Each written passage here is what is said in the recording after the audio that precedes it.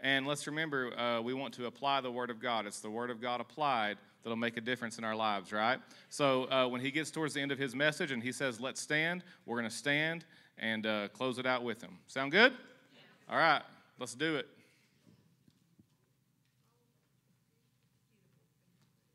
Turn with me, please, if you would, to the in the real, actual, miracle working power of God. And now we're, we're looking at how Jesus had manifestations of this power. Because when Jesus would speak, things happened, didn't they? Power manifestations occurred, and they, they occurred when he spoke. It was his words. It was the main way that this power was released. In uh, Luke, the fourth chapter, verse 32, Luke 4:32 said they were astonished at his doctrine, his, his teaching and preaching, for his word was with power. Astonished is a strong word. They were, they were in awe of, of when he spoke. Why were they in awe? His word was with power. Everybody said out loud, His word, His word. was with power. Verse 33 said, In the synagogue there was a man that had an unclean spirit. And verse 35, Jesus rebuked him and said, Hold your peace. In other words, be quiet. Come out of him. And he did. And verse 36, they were all amazed and spoke among themselves, saying, What a word is this! For with authority and power he commands the unclean spirits and they come out. He, he commanded that to happen and it did. It did. Then it said, the fame of him went into every place in the country round about. He arose out of the synagogue, entered into Simon's house. Simon's wife's mother was taken with a great fever. They besought him for her. And verse 39, he stood over her and did what? Rebuked the fever. Now, this is not even in the vicinity of most church going people's thinking. What, what, do you mean? Well, in most churches, if somebody said, Man, I've been running a fever and I don't know what to do about it, uh, would most of the church respond and go, well, have you, have you rebuked it?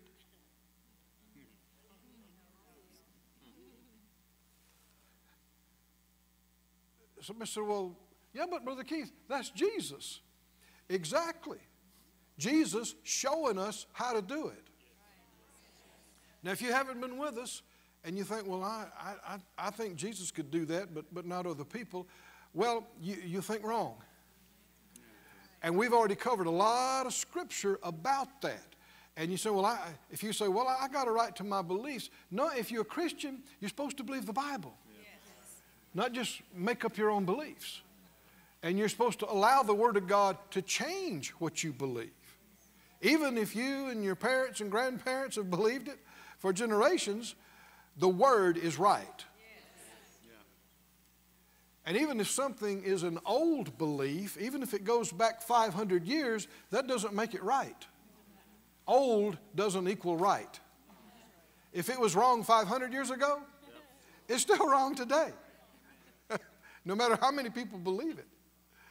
And uh, Jesus said, If you believe on me, the works I do, you'll do also.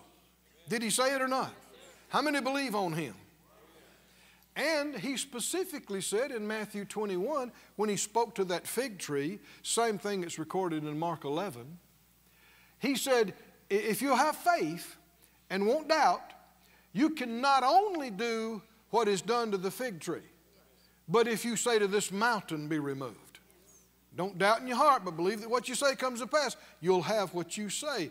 Is he telling them they could do what he did? Just as plain as you can say it. So Jesus had manifestations of power when he spoke. How are we going to have manifestations of power? Same way. When we speak. But it's not just speaking, it's believing and speaking. It's entirely possible to say all kind of things and there be no power in it at all.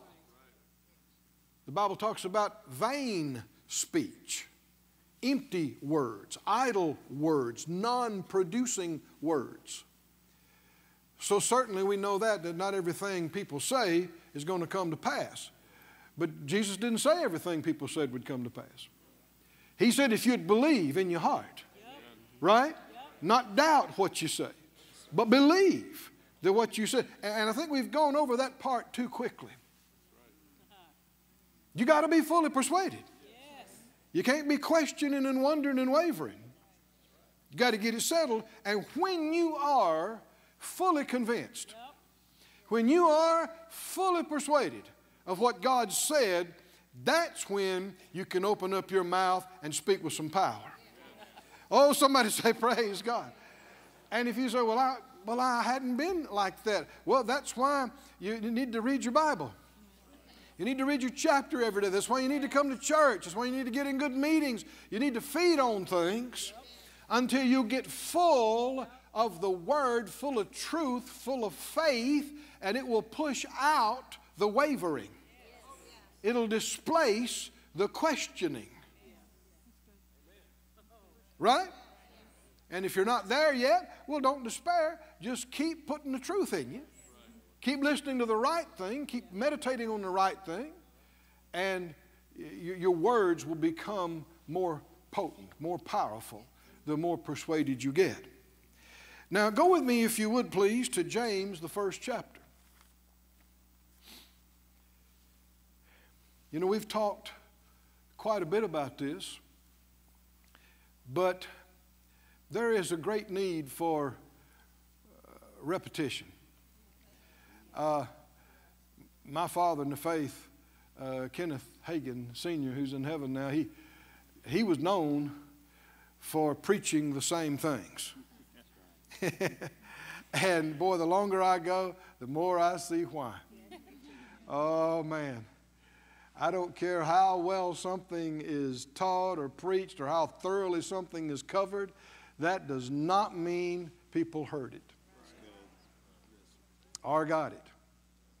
I, I've been so surprised sometimes that people that I know that have heard me preach something numerous times, and then I preached it for the 30th time, and they said, Man, I never heard that before. And I'm like,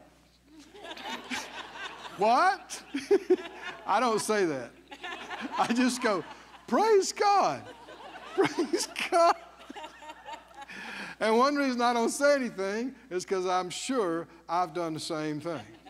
Huh? Uh, hearing. Faith comes by hearing and hearing. Uh, because you can hear and not hear. And it's amazing what folks don't hear.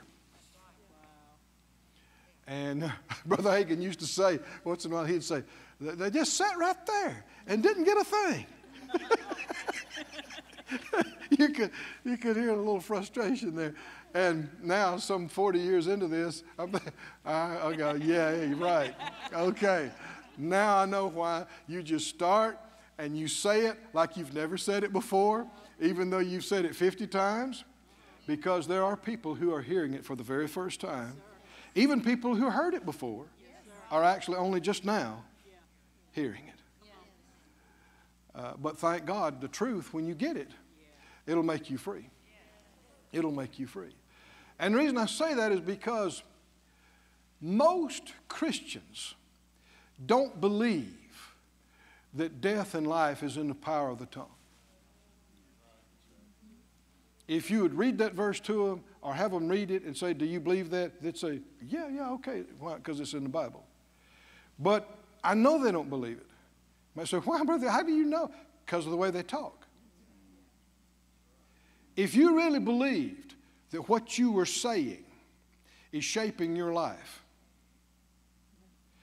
then you'd be a fool to knowingly say things that you know is restricting you and hurting you and keeping you back from being free. You'd be a fool if you knew it, if you believed it, and you did it anyway. So, most of the church doesn't even talk about the power of your words and confession. They, they've coined little uh, disrespectful phrases for us, like the blab it and grab it, yeah. you know, confess it and possess it yeah. bunch.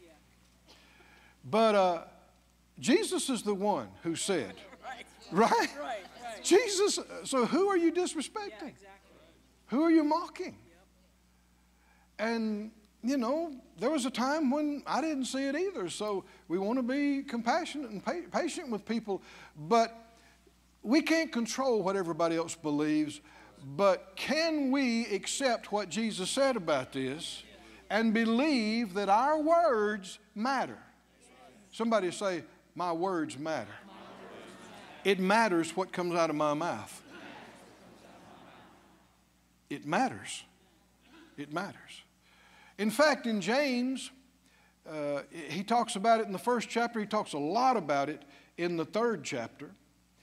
But in, in chapter 1, 22, 1 and 22, talks about being a doer.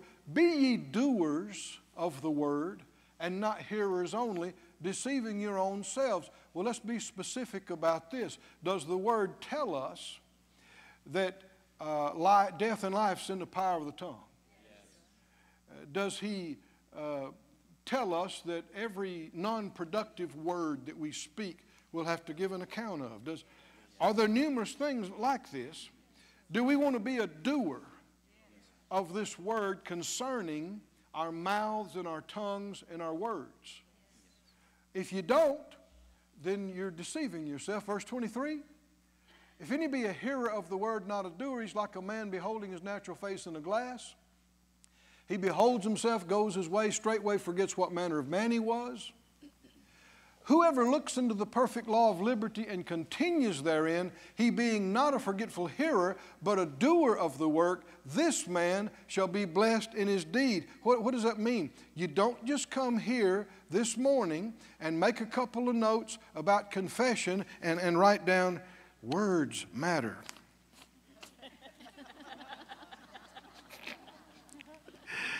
and then tomorrow, talk like an unbeliever. Hmm? If you do, then there'll be no benefit. You won't be blessed in your deed. You'll be kidding yourself because you heard the message that you're doing it. But just because you heard it, that doesn't mean you're doing it. Verse 26 If any man among you seem to be religious and bridles not his tongue, but deceives his own heart, this man's religion is vain. Now, that's a big phrase. That's a big statement. What would make your religion vain? Not controlling your tongue. Do we believe this or not? Huh? Is this, is this the Bible? Listen to the NIV. The NIV says if anyone considers himself religious and yet does not keep a tight rein on his tongue, he deceives himself and his religion is worthless. The number one way we act our faith is with what we say. There are other actions, but the number one way, the main way, for instance, how'd you get born again? Huh? How does faith come? By hearing. By hearing. But what's the number one way faith is released? saying. The faith comes by hearing. But you can have faith and have no results. Faith has to be released. Faith without an action, James says, is, is dead, non productive. And how'd you get born again? Huh? Well, put, uh, put it up on the screen Romans 10. Romans 10 and, and 9.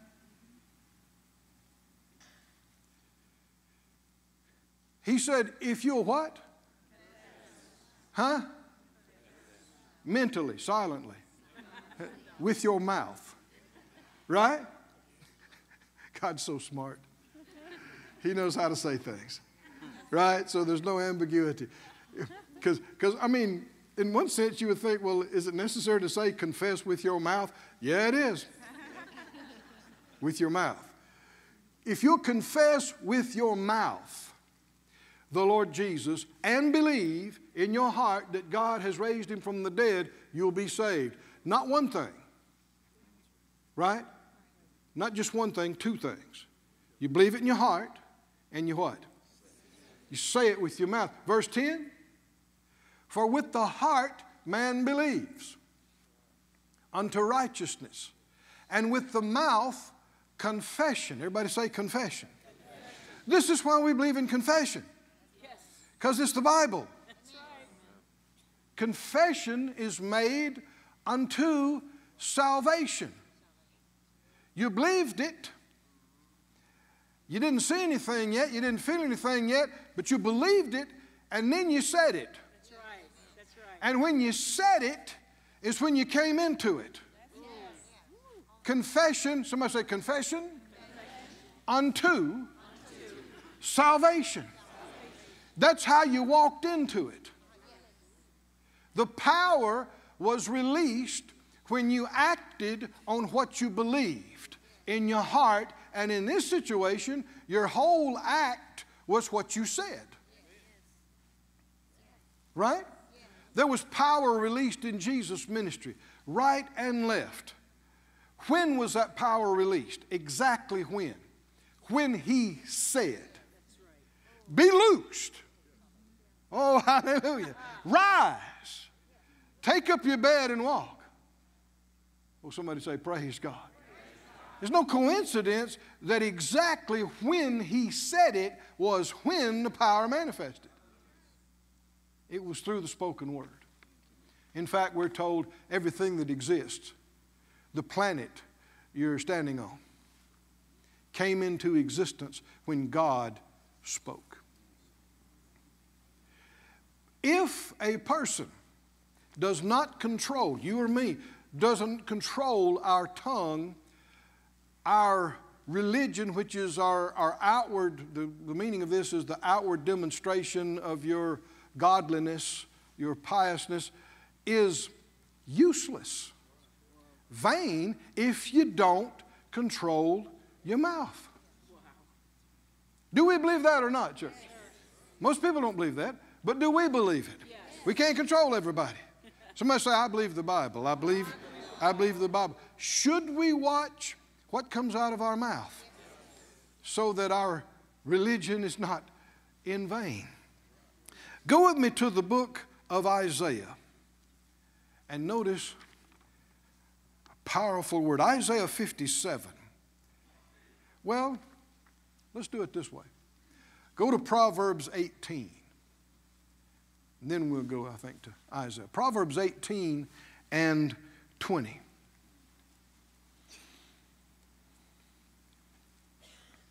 I'm, I'm believing for revelation. I'm believing with you. Yes, right? That we won't have the hearing and not hearing today, Amen. but we'll have hearing and hearing yes. and seeing yes. and getting, receiving. He said, A man's belly will be satisfied with what? The sweat of his brow. Huh? Good old hard work is what will get you through. Meet all your needs. Work is a part of what we're supposed to do. Everybody's supposed to be uh, not lazy and slothful, but to be diligent.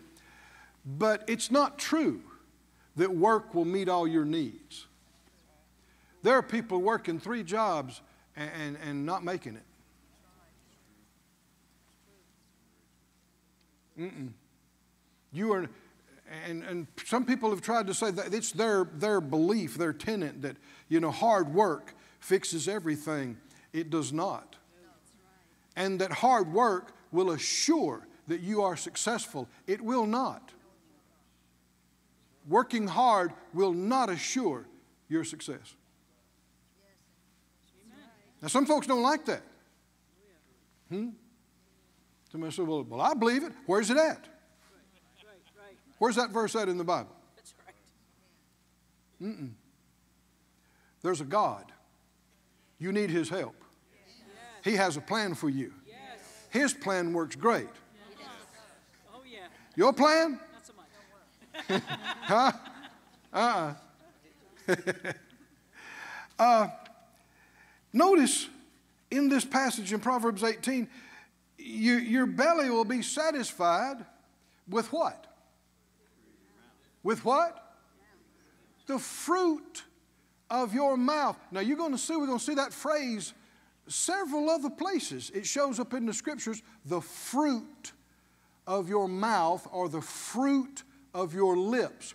The same word fruit can be produced, excuse me, can be translated produce or produce, both as a, as a verb or a noun. Uh, the produce of your mouth is what will cause you to be satisfied and your needs to be met. Do we believe that or not? Huh? Oh, church. This is exciting. This is breakthrough. Yes, you're supposed to work. Yes, you're supposed to do some things. Yes, you're supposed to give. Yes, you're, if you really want to do well, you need to learn how to make some investments and, and do some things. But that alone will not assure your success. And even if you did work hard, make a bunch of money, you can lose it overnight. It doesn't assure success. But this is how you get success in God. Hmm? You get a hold of your mouth and you discipline what you say about your business and about your life. And you give God something He can work with. And you don't speak words contrary to what He has said or against Him. What do you mean? If my belly is going to be satisfied by the fruit of my mouth and the increase of my lips, you can begin saying it right now today. I will live well all the days of my life. All my needs are continually supplied by His riches in glory in Christ Jesus. Now, that's a vast difference from saying, man, the country's in such a mess. They're laying off at the factory. I just don't know if we're going to make it. That's how an unbeliever talks. And yet, most Christians talk the same way. And have been conformed to this world and not transformed by the renewing of their mind. You'll eat good. You're, you're, you're, you'll be satisfied by what? the fruit of your mouth. And then the complete Jewish says, with what his lips produce, he'll be filled. And that's when the next verse says, death and life are in the power of the tongue. And they that love it will eat the fruit thereof. He just got through saying, Your mouth will produce it, the fruit of it. Well, what, which, which fruit will you eat? Well, whichever one you decide to say. You will experience death fruit or life fruit, depending if you talk what you see and feel and hear in the unbelieving, fearful, ungodly world around you, or if you refuse to say those things, no matter how it looks and feels, and you choose to say what He says about your situation. If He says you're saved, then you say you're saved, no matter how you feel. If He says you're righteous and holy, you say you're right, no matter how you look or how you feel or even how you've acted. You agree with it? Now you might say, Well, I, I don't know about all that. Do you want to stay in depression? We're talking about how to get out. If you're not satisfied in an area, check up on what's been coming out of your mouth about that, that area. There, this is spiritual warfare and conflict. The enemy, his uh, cohort, cohorts, his servants, are continually pushing against us to say the wrong thing. Why? They want you to say something in this realm and mean it that they can work with, that they can cause to come to pass in your life. They want you to speak words full of fear, words full of defeat, words full of anger, and uh, so that they can act on it. Well, the Holy Spirit, if we'll listen to Him, He's endeavoring to prompt us. Say this. right? Say this. Why? So He can act on it. He can manifest it and bring it to pass in our lives. Now, I know a lot of people don't believe that. They, well, no, God's doing whatever He wants to do. He has, in His own wisdom, determined not to override human will. So He's limited Himself. We didn't limit Him in that, that regard, but He's limited Himself. He won't make you say the right thing no matter how much you need to. Our mouths are truly in our total control. But if we're wise, we will speak the word only.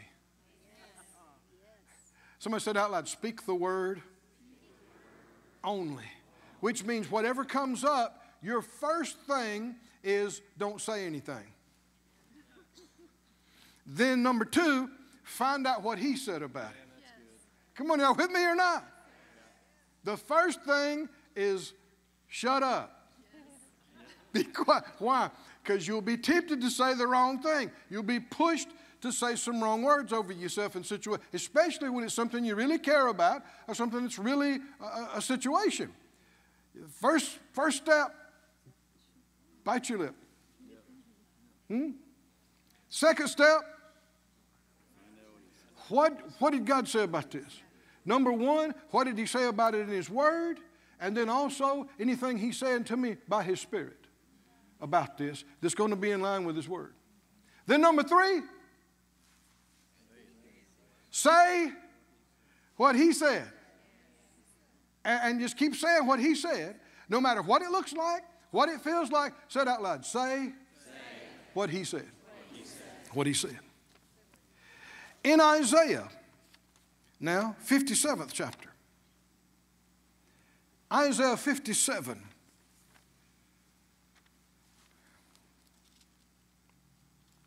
And 18.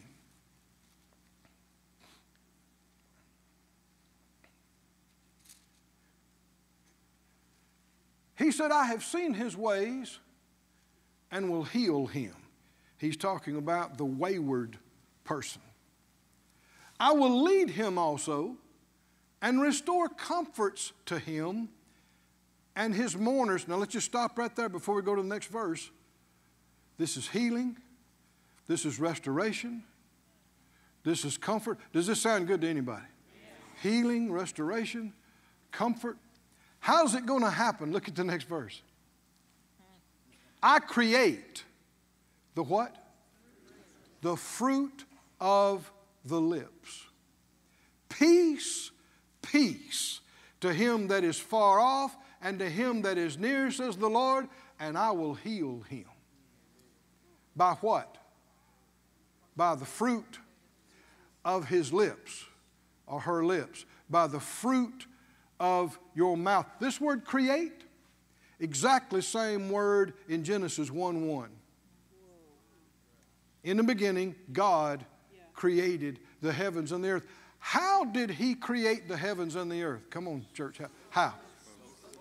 He spoke them into existence. He conceived the vision of it, he had the understanding of it, what it took, what its makeup was, how it functioned and worked. He saw it, he knew it, and he released his faith and spoke it into existence.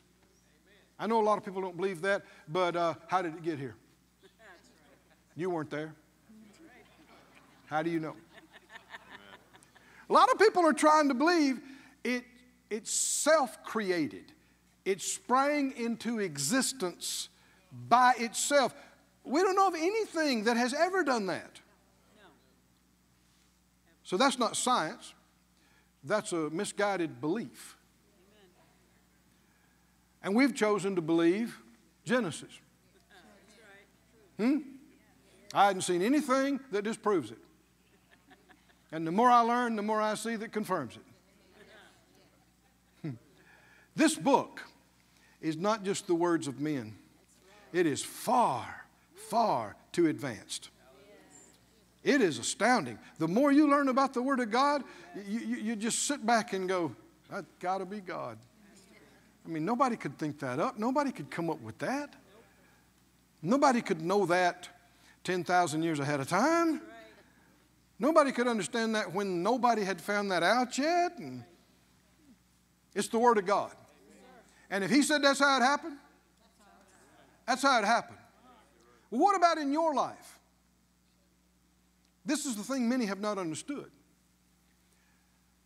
He is allowing us to rule and reign in our own lives.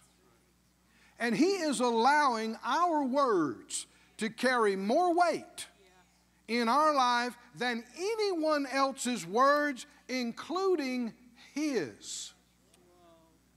Now, you, you might think that's too big of a statement, Brother Keith. No. Come on, think about it. If He says that Jesus has paid the price for your sins and, and, and, called you to be reconciled with Him, and if you say, No, I don't believe it, I'm lost, what are you? You're lost. Your words carry more weight in your life than anyone else's. That's why you shouldn't be so upset about what other people say about you. I know some things are not pleasant, but they don't, their, their words don't carry the authority and weight in your life that yours do. Your words. So the big danger is that they said something ugly and you believed it. And then said it about yourself. Now you got a problem. I create the fruit of the lips. Hallelujah. Is that true? God works with what you say? Is that true? Well, he's not going to be involved in evil. So if you say bad stuff, he's not going to be involved in creating the evil. He's got to leave you alone. And but the enemy jumps up and says, "I can work with that.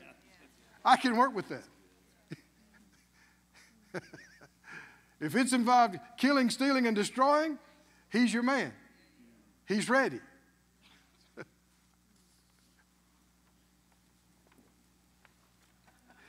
Go to Hebrews, please.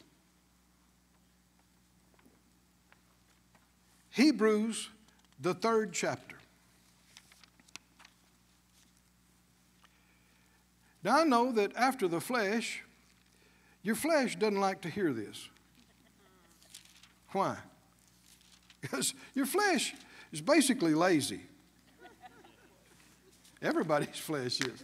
But if you don't do something with it, it will get out of hand it will it'll do nothing right and everything wrong if you just let it go. And your flesh will go, You mean I got to watch everything I say? People don't like that. They'd rather believe God is in control. and everything that happens is God. We may not understand it, but what, what, what does that work out nothing is my responsibility. nothing is my fault. Nothing is my responsibility. I don't have to do anything because it's all up to God anyway. Big problem with that? It's a lie. It's not true. Huh? And if you don't watch what you say, like we've already said, the enemy will work with it. But notice, is it true that God is involved in the creation of the fruit of our lips and what we say? Notice Hebrews 3 1. He said, Wherefore, holy brethren, partakers of the heavenly calling, consider the apostle and high priest of what? Our profession. This is exactly the same word in the King James Bible translated confession. Like where we just read in Romans 10, uh, confession is made unto salvation. Same word. So this is confession. Uh, Christ Jesus is the apostle and high priest of what? Of what?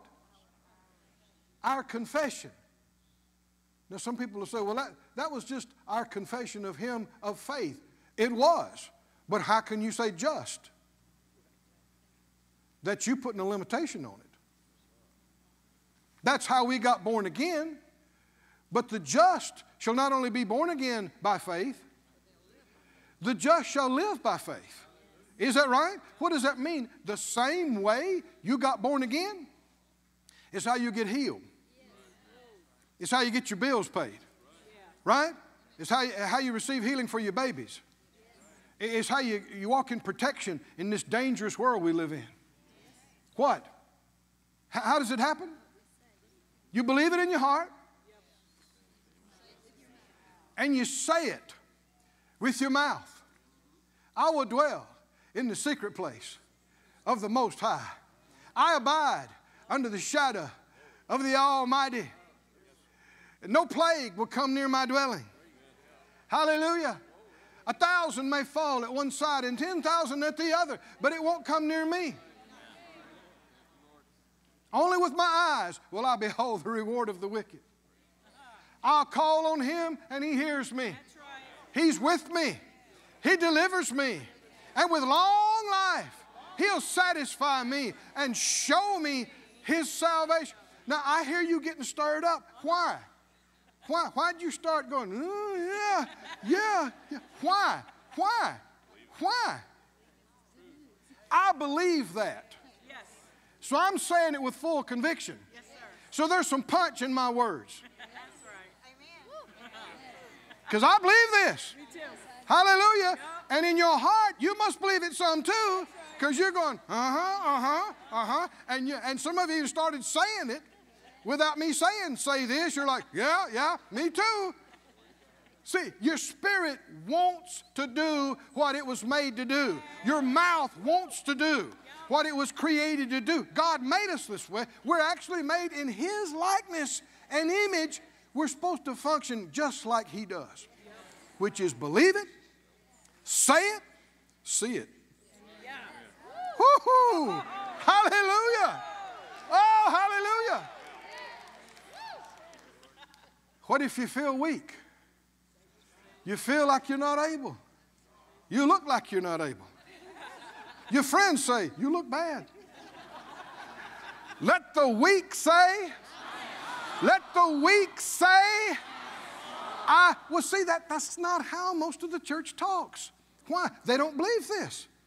They don't believe what we're doing. They believe it's up to God. They don't believe Jesus is the apostle and high priest of what I say. Said out loud, Jesus, Jesus. works with what I say. Jesus works with my words. I, I, would add, I would add this if he can. Well, what do you mean if he can? If I'll say what he says, if I'm going to contradict what he said, what can he do with that? he has to leave me to myself. And like we said, the other side will say, hey, we can help you with that. You, you want to talk death? You want to talk fear? You want to talk destruction, unbelief? We can help you with that. If we really believed these things, like I said, anything that comes up, what would we do? Number one, shut up. Church, are y'all with me? huh? Why? If you don't know what to say, don't say anything. Don't ignorantly give your enemy something to, to use against yourself. Number one, don't say anything until you know. Number two, what? Find out what God said about that. And uh, so many things are already in the written word, but then there are other specific things He'll say to you by His Spirit. Say this. Well, Phyllis and I do this on a regular basis. I mean, you know, when you got churches and you got friends in the ministry and and you know you got there's a lot of stuff going on. There's a lot of moving parts. And so there can be something going on all the time. What do you do? You don't want to take the care of it and pine away and say i just don't know what we're going to do. Man uh, you know things are in a mess. I mean that's talking like an unbeliever that's not even saved. Like there's no hope like there's no help. You but you'll do it unless you discipline yourself You'll feel bad, say the wrong thing. But we immediately begin to do what I'm talking about. The, first off, we'll say nothing. And, and, numerous times we've told people that have reached out to us, we've said, well, you know, they're, they're wanting us to say something, and we'll say, well, we, we're going to pray about it. We're going to look to the Lord. In other words, we don't have anything to say right now. I could say something, but if it's just me, it's not going to have that, that punch, that power to it, right? Unless it's something we got from Him. And so we're looking for what He says about it, and without fail, somebody say He's faithful, He's faithful. Without fail, He will show you, say this. Isn't that right? That's right. uh, Phyllis, and, and I guess it was, was it Rob and Phyllis and whoever? Yeah, Rob, uh, a while back, some folks that we knew were in another country, and uh, uh, the man and his dad both had become deathly ill. They were right at death's door. Huh? What's the name of it? Dingo fever. That's not. Uh, yeah, how do you say that? Yeah, yeah, that's dang, ding, uh, dengue, huh?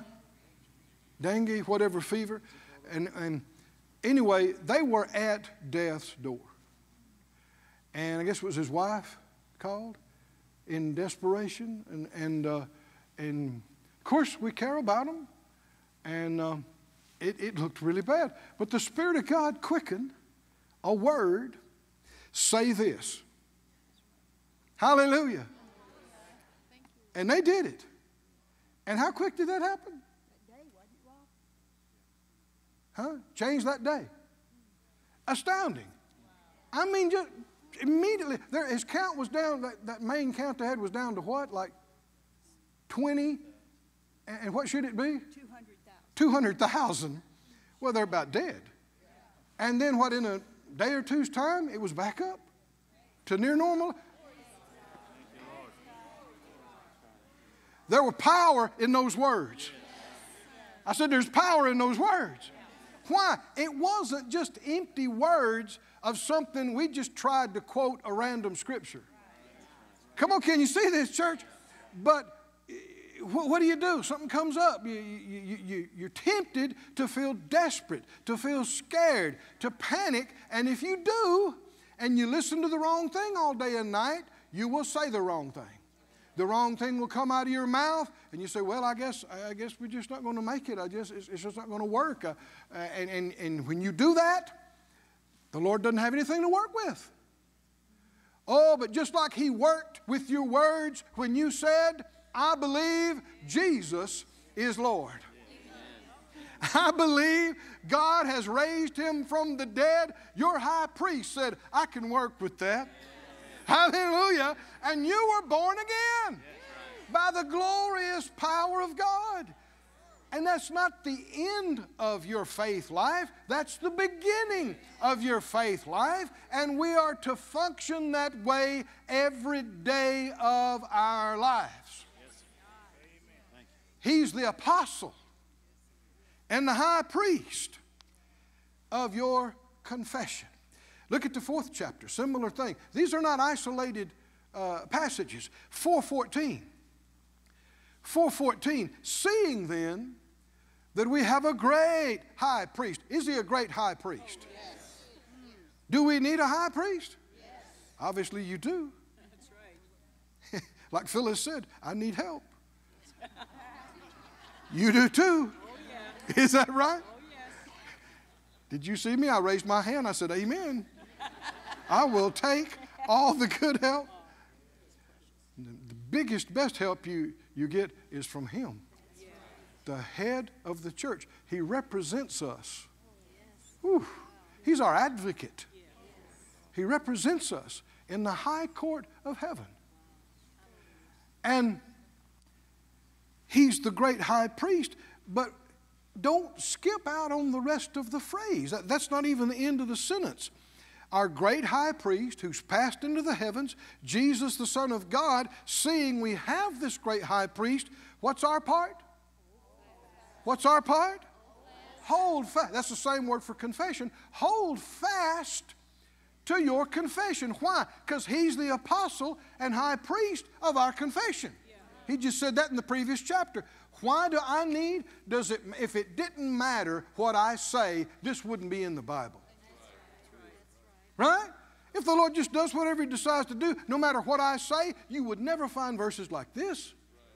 Why do I need to hold fast to the right confession no matter what's going on in my life, what I look like or feel like. Why? Because my high priest needs it to do things for me. Huh? Elsewise, he wouldn't be fair in not doing the same thing for everybody on the planet. If the Lord was just moved by needs, miracles would be popping all over the planet. He'd be unfair to do great things for you and not do it for somebody else just because you needed it. Right. Or just because you begged. Oh. Religion has taught human beings to be beggars. Yep. Just beg, beg, beg, beg, and hope, wish that maybe God will do something. There's no faith in that. Right. And where do we see in the scripture where the Lord said beg? I mean, really beg. Beg, and that's how you'll get it. You won't find that. That's men's traditions. What did he tell us to do? Come on, church. What did he tell us to do? Believe in your heart. Huh? And say it with your mouth in full conviction.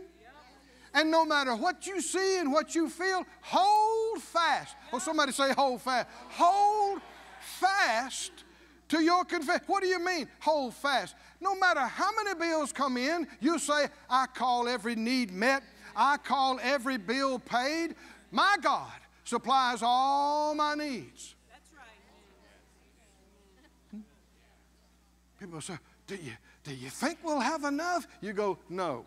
We'll have more than enough. We'll have more than enough. Right. Doesn't matter what we say. If the Lord hears us saying, I believe the Word of God. The Lord's my source. He meets all my needs. I call every bill paid. Can He work with that? Come on, can He said it. He said it. So He's working with His own words. But they're coming out of my mouth, which means He can do it for me. Said out loud, I have a great high priest, the Son of God, Jesus. Hallelujah. So I will hold fast to my confession. Go to Malachi in closing, I think.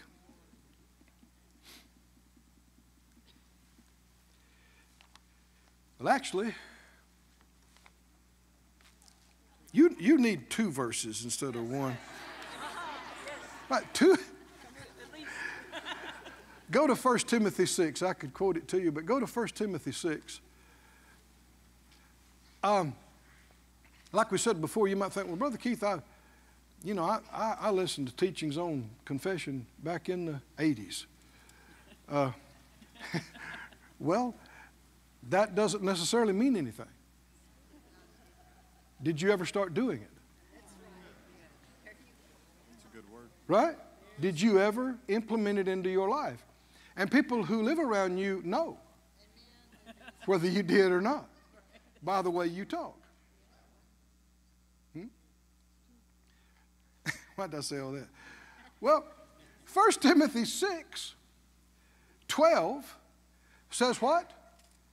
Fight the good fight of faith. How do you do that?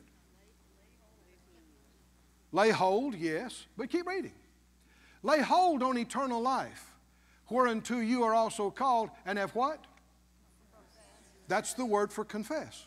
Same word. You have confessed a good confession before many witnesses. What does that have to do with fighting the good fight of faith? This is the number one way you release your faith. And what is the sword of the Spirit? It's the Word of God, right? And how do you wield the sword of the Spirit? With your mouth. His words in your mouth from a fully persuaded heart are powerful. And the Holy Spirit can back them. The holy angels can work with them. Fight the good fight of faith, lay hold, you profess the good profession. Look at the very next verse, verse 13. I give you charge in the sight of God who quickens all things before Christ Jesus, who before Pontius Pilate did what? He holds up to us the, the chief example of Jesus. This is in connection with fighting the good fight of faith. He already said it twice in the previous verse about your confession, your confession. Then he brings up how that when Jesus stood before Pilate, this was a, I mean, this was a situation. And what did Jesus do? He didn't beg, he didn't say something in unbelief. He confessed a good confession. Hallelujah. He only said what the Father gave him to say. He is the preeminent example. You never heard Jesus. The 12 and the 70 and anybody around him never heard him poor mouth. Never heard him talk about how scared he was. Never. Never. They never heard him talk about, I don't know what we're going to do. Never. Is he your example or not? Do you have a different, better example? No, sir. Then he's your example. Yes, sir. Do you want to talk like him? Yes. Morning, noon, and night. Yes. Do you want it to be said, people around about you? Well, I tell you one thing, you won't hear them talk unbelief. You won't hear them talk fear. You won't hear them talk failure and destruction. Why? You don't want to give the enemy anything that he can work with to hurt you or yours in your life, and you want to give God everything. Is that right? That he can bring to pass in your life. Now go to Malachi, the third chapter. Malachi 3 and 13. The Lord here said, Your words have been stout against me. Let's just stop right here. If it didn't matter what we said, this could not be. We're talking about the Almighty. Huh? Many people think if God does exist in their mind, He created all this, He gave it a spin. There's seven billion of us down here or something. He could really care less about most of what's going on and hardly takes notice of it. I mean, among seven billion people plus, God's going to even notice something you said today? I mean, there's a lot of talk going on down here. Right? Does God pay attention to everything that everybody says? I didn't say that. But His people, I said, His people that believe in Him? Why would He say this? Your words have been stout against me. Why would He care what you said? He obviously does. Said out loud, What I say, matters. My words, matter. They matter to God. Do they? Yes. They matter to God and they matter to me. They matter to your family. Especially if you've got somebody in your family that's not doing right, not doing well, not even trying to live right, or claiming to be an agnostic or atheist or whatever the case might be, somebody needs to say something good over them because they're not doing it. Is that right? And even most church going people would just talk about it and go, you know, well, I guess they're going to hell. I, I don't know, man. Look, look what a mess they're in. All they're going to do is talk what they see and, and the bad stuff. Somebody, somewhere, needs to say something God can work with. Something that can make a difference in their life. Now, it'll carry no weight if you don't believe it. But if you believe it, and you, and you pray and you commune with God and you feed on the Word, and He'll give you a word to speak over your kids, your children, your grandchildren. He'll, he'll quote something to you from the written Word of God. And when you get it, you say it. Hallelujah. You may just be praying one morning and the Lord will say, I'm showing them some things. Then you got your word. I said, You got your word. Somebody says, Man, did you hear what crazy thing they did last night? And you just say, The Lord's showing them some things. What's going on? The Lord's showing them some things. That's your word.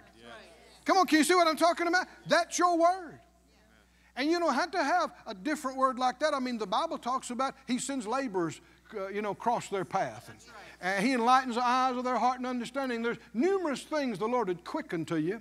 But no matter what you see and feel, uh, if you are that kind of person, then you are a rock in the family. You are an anchor. Hallelujah. With a connection from them to God, even though they say they don't want it, they have no idea how desperately they need it. And out of, I, was praying about a relative some years ago, and they, it's astounding that they hadn't been killed 40 times. The crazy, illegal, improper stuff they've done. And I was praying uh, about a thing with them, and you almost you think, well, you know, you know they don't deserve anything from the Lord. Uh, but but I said, Lord, would you would you have mercy on them about this? And the Lord spoke to my heart. He said, I'll do that just because you asked me to. Oh, somebody say, Thank the Lord. He is so merciful, He's so gracious. Will He do that? He'll do things that people, I mean, maybe they should have been judged 20 years ago. And just because you asked Him to, He is merciful. But then you need to speak in line with what you prayed and what you heard him say the next day and the next day and the next day. What's happening with them? I got a word. The Lord's having mercy on them. He's sparing them. He's giving them more opportunities. That's what's happening. I don't care what I see, what I hear, what I feel. That's what's happening. And the Lord can work with that. Hallelujah. He said, Your words have been stout are strong against me. The Lord said that. And they say, What have we spoken so much against you? And that's where a lot of folks would be today. If they realized, if they heard directly from the Lord and He said that, they'd go, What? What did we say? And, and He quoted some things. That He quoted uh, a couple of things that they said. He said, You have said. Now let's just stop right there. God listened to what they said. And he cared about what they said. And it bothered him what they said. And he's quoting back to them what they said. Wow. Said out loud, My words matter. My words matter. God listens to my words. they matter to Him. He said, You said it is vain to serve God. And he, he's saying that word was strong against me. You could say it like this, quoting from Psalm 78 and other places it limited me, it restricted me, it hindered me. Because you said it does no good to serve God. And what profit is it that we've kept his ordinance? Now, reckon any church people have said things like that? What good does it do to pray? The, the Lord cares about something like that. He's like, What are you saying? Phyllis and I have just been astonished at some situations where people it's obvious God has answered prayer. He's done miracles in their life. And, and they've had this issue for a while. And one of them the other day said, You know, what, what did they say about that? God never, God's never done anything for me. We about fell off our chair. We thought, Are you crazy? God's never done anything for me. Isn't that what they said? God's never done anything for me. Never done anything for me. Let's start with one point. You exist. You're breathing. What a lie, right? How do you get to the, a place like that? Who told them that? You see, somebody's been pushing that on them for months and longer. And what did he want? What did, what did the enemy want to happen? He wanted them to open up their mouth and say that. Come on, can you see that? because that opens a door for him. It's, it, it closes and, and hinders between them and God. It blocks. It's stout against their God. If you're going to say, You've never done anything for me, somebody say, I refuse to say that. I will never say anything like that. That is a lie. But can you see what we're talking about? Why would God care? if it didn't matter. Unless it's true. He actually creates the fruit of your lips. He creates His words that come out of your mouth. And Jesus, the apostle and high priest of your confession, is working with His words in your mouth. Oh, hallelujah. Let's say the opposite of what they said. Huh? They said it does no good to serve God. What are you going to say? It pays. It pays to serve God. They said it, it, no profit in keeping his ordinance. In other words, I mean, tithing does no good, praying does no good, all that confession stuff, there's nothing to that. There's people said that. Not me. Not me. It's working for me, brother. I said, whoo, it's working for us. I said, it's working for us. It's working for us big time. I'm t- tithing is working for me. It's, wor- whoo, it's working for Phyllis. Offerings, confession, faith, protection, love. It's working for me. Being led by the Spirit is paying off big time for me. Hey! Stand on your feet, everybody. Stand on your feet. Say, It's working for me. Man, it's working. It is working for me. We're going to make it work for us tonight, too. Anyone remember the steps he talked about in this message? Number one, shut up. Shut up. If you don't know what to say, just shut up. Then what's number two? What, find out what he says. And then uh, number three, say it.